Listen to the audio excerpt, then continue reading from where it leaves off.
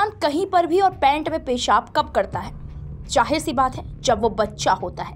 क्योंकि उसे कोई समझ नहीं होती कि पेशाब कहाँ करना है, इसलिए वो पैंट में ही पेशाब कर लेता है।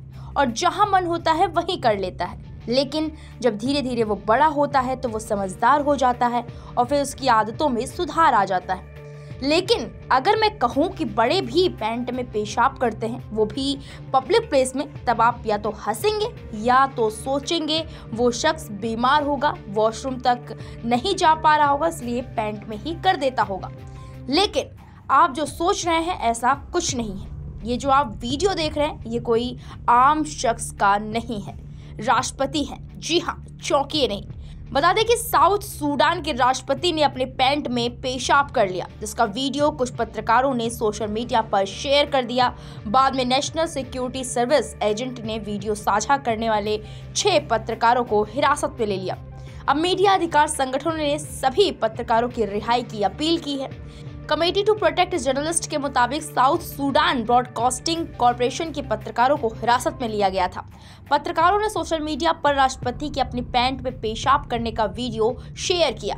ट्विटर पर वायरल वीडियो में देखा जा सकता है कि रोड कमिश्नरिंग के दौरान अन्य अधिकारियों के साथ राष्ट्रपति सलवा कीर मर्यादित भी खड़े हैं।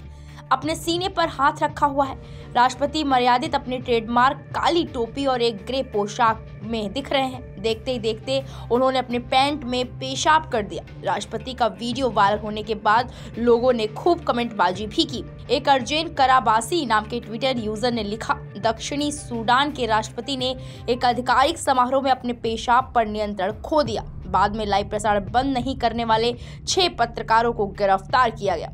मुख्तार वफाई नाम के ट्विटर यूज़र ने लिखा, एक आधिकारिक कार्यक्रम के दौरान सूडान के राष्ट्रपति के पेशाब करने का वीडियो प्रकाशित करने के लिए इस देश के सुरक्षा बलों ने छह पत्रकारों को गिरफ़्तार किया।